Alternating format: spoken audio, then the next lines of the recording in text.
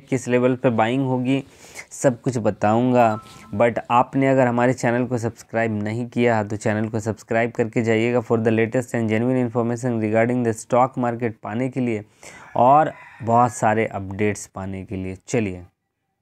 देखिए, पहला stock screen पे लगा हुआ है वर्लपूल लिमिटेड है। सबसे पहले इसके फंडामेंटल्स से आपको परिचित कराता हूँ।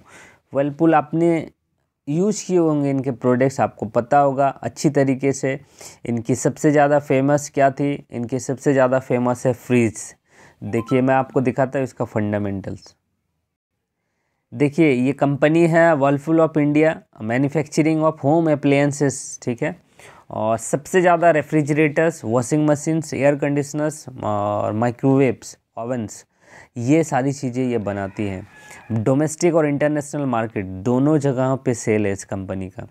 कंपनी का अगर हम लोग फंडामेंटल्स बात करेंगे तो बहुत तगड़े फंडामेंटल्स डेट फ्री कंपनी मैं आपको बता रहा हूँ। मैं ऐसे ऐसे स्टॉक्स ही नहीं चूज़ करता हूँ जिस पे आपको कोई टेंशन रहे। थर्टी टू थाउज़ेंड करोड़ की मार्केट कैप है। Return on capital employed, return on equity बहुत अच्छे। डिविडेंड देखिए, देती है कंपनी फेस वैल्यू दस की और डेट बिल्कुल भी नहीं है कंपनी का। धाकड़ होल्डिंग्स मोटर्स की कोई दिक्कत नहीं है। और इस स्टॉक का अगर हम लोग नीचे अगर ट्रेंड देखेंगे तो अच्छे वॉल्यूम के साथ इस स्टॉक में कल ख़रीदारी हुई थी। ये देखिए, ये एक चैनल और ये एक जोन जिस पे ये ट्रेड करता था बट इस स्टॉक ने क्या किया? इस जो चैनल के चैनल का जो रेजिस्टेंस था ऊपर की तरफ़, उसको ब्रेकआउट किया। अब आप कहेंगे कि तेज़ी आने से पहले आपने क्यों नहीं बताया? ये एक ही दिन की मोमेंटम है। बारह परसेंट की मोमेंटम हुई है। स्टॉक पे एंट्री कहाँ लेनी है, ये मैं आपको बताना ज़रूर चाहूँगा, क्योंकि हो सकता है मंडे को जब ये मार्केट खुले तो बहुत ज़्यादा ऊपर खुल जाए तो फिर आपको इस पर पोजीशन नहीं बनानी है क्रिएट नहीं करनी है नहीं तो फिर आप प्रॉफिट नहीं निकाल पाओगे। फिर आपको क्या करना होगा, बहुत लंबा वेट करना होगा, तब आपको क्या होगा प्रॉफिट होगा तो इतना ज़्यादा हम लोग नहीं वेट करेंगे। करना क्या है, स्टॉक पे जो लेवल था रेजिस्टेंस का, वो था 2260 का। स्टॉक अभी ट्रेड कर रहा 2560 पे। लगभग 2520 पे।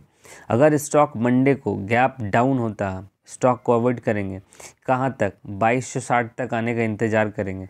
अगर ये स्टॉक ऊपर खुलता है और छब्बीस सौ को क्रॉस करता, स्टॉक पे पोजीशन नहीं बनाएँगे। बाईस सौ साठ और छब्बीस सौ, इन दोनों रेंज के बीच में हम लोग ट्रेड करेंगे। अगर ये स्टॉक चौबीस सौ के आसपास में मिला, इस पर एक पोजिशन बनाएँगे। नीचे पे हम लोगों का 2260 का 2250 का स्टॉप लॉस मेंटेन करना है और स्टॉक पे एक पोजीशन बना के आपको इंतज़ार करना है। इस स्टॉक पे रैली अच्छी देखने को मिलेगी। बहुत ज़्यादा ऊपर अगर खुले तो नहीं बाई करना। बहुत ज़्यादा नीचे खुले, नहीं बाई करना। अगर इसी के रेंज पे खुले पचास सौ पॉइंट नीचे खुले और ज़्यादा अच्छा है, तभी हम लोग पोजीशन इनिशिएट करेंगे। अदरवाइज़ पोजीशन इनिशिएट नहीं करेंगे। क्योंकि और भी स्टॉक्स हैं हाँ, क्या ऐसी कोई बात नहीं है कि इसे स्टॉक पे पैसे बनाने वेट करेंगे। स्टॉक की लिस्ट पूरे वीक पे शामिल रहती है बट स्पेशल कुछ जिस स्टॉक पे अच्छी मोमेंटम हो सकती है वो मैं एक स्टॉक या दो स्टॉक ये आपके पास प्रेजेंट करता हूँ। लेकिन पूरे वीक में लगभग मैं सात से आठ स्टॉक आपको ऐसे बताता हूँ जिस पर अच्छी खासी मोमेंटम होती है अच्छा पैसा बना सकते हैं आप। सभी वीडियोस को देखने की कोशिश कीजिएगा। तेज़ी आने से पहले मैं एक वीडियो आपके पास प्रेजेंट करता हूँ। तेज़ी आने से पहले बता रहा हूँ। उस वीडियो को मिस ना कीजिएगा। उसमें एक ऐसे स्टॉक बता दो जहाँ से मोमेंटम आ सकती है। तो ये वीडियो स्किप करने के नतीजे हैं। चार हज़ार, तीन हज़ार व्यूज़ आते हैं थ्री के, फोर के और सब्सक्राइबर है लगभग अस्सी हज़ार। तो आप सोच के देखिए कितने लोगों ने उस वीडियो को देखा होगा। तो वर्लपुल लिमिटेड, बेस्ट फंडामेंटल्स के साथ, वर्लपुल को आप देख सकते हैं मंडे के ट्रेडिंग सेशन पे। दूसरा स्टॉक कौन सा है? देखिए, दूसरा स्टॉक नन अदर देन इसी सेगमेंट से Hitachi air conditioners Johnson control के नाम से आप सर्च कीजिएगा। जे सी एच ए सी ये है इनका शॉर्ट नाम। कंपनी बनाती क्या है? तो हिताची एक बहुत अच्छा एयर कंडीशनर बनाने में बहुत अच्छा ब्रांड है Hitachi home air conditioner refrigerator chillers और V R F, wire variable refrigerant flow system. तो इनका जो सेगमेंट है, वो सेम सेगमेंट है वर्लपूल के जैसा बट इनका जो इंडस्ट्री के लिए ये ये प्रोडक्ट्स बनाती है। इंडस्ट्री में बड़े बड़े इंडस्ट्री में जो यूज़ होती है, फ्रीजर्स एसी का पूरा पूरा फुल एसी का सिस्टम, हॉस्पिटल्स में फाइव स्टार होटल्स पे तो ये ये काम करती है। कंपनी फंडामेंटल्स फिर एक बेहतरीन कोई दिक्कत नहीं, आपने इसका नाम भी नहीं सुना होगा। ऐसे स्टॉक्स को टीवी चैनल्स पे दिखाया भी नहीं जाता होगा। इस चीज़ को ध्यान में रखिएगा। चौंतीस सौ का हाई है, पच्चीस सौ का स्टॉक का भी करेंट मार्केट प्राइस है। प्रमोटर्स की धाकड़ होल्डिंग है। डेड फ्री कंपनी आप मान सकते हैं इसे। और अगर हम लोग देखेंगे फेस वैल्यू दस की है डिविडेंड ये स्टॉक आपको नहीं देता बट इस स्टॉक पे भी सेम मोमेंटम आई है। इसकी मोमेंटम ज़्यादा एक्सेप्टेबल है।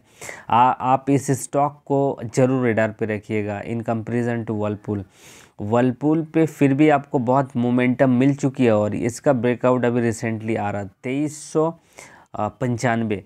तो इसको इसने काटा है। और आज आ, कल फ्राइडे सॉरी मंडे के ट्रेडिंग सेशन पे इस स्टॉक का पहला टारगेट आप देख पाएँगे 2580 के आसपास में। स्टॉक की क्लोजिंग कितनी? 2530 तो 2580 पे हम लोग बाई नहीं करेंगे। जब तक ये स्टॉक आपको ना मिले आ, किस रेडार पे? तेईस सौ तेईस सौ अस्सी पे चौबीस सौ के आसपास में। ये स्टॉक चौबीस सौ पे हम लोग खरीदेंगे और इसे बेचेंगे कितना में? टारगेट्स ओपन रखना है। आगे ऊपर और भी बड़ी मोमेंटम आ सकती है। स्टॉप लॉस मेंटेन करना है इस जगह पे। स्टॉप लॉस कहाँ पे मेंटेन करेंगे? अगर हम लोग चौबीस सौ पे बाई करेंगे तो सीधा सीधी तेईस सौ का हंड्रेड पॉइंट का स्टॉप लॉस मेंटेन करेंगे। इसके जितने नज़दीक खरीदिएगा, उतना ज़्यादा मोमेंटम आ सकता है। इस सेक्टर पर कुछ खबर आई है, मैं मिस कर रहा हूँ आपके साथ शेयर करने में। मेरे पास वो अपडेट मैं मिस कर रहा हूँ। वो अपडेट हमें एक्चुअली में याद नहीं आ रहा।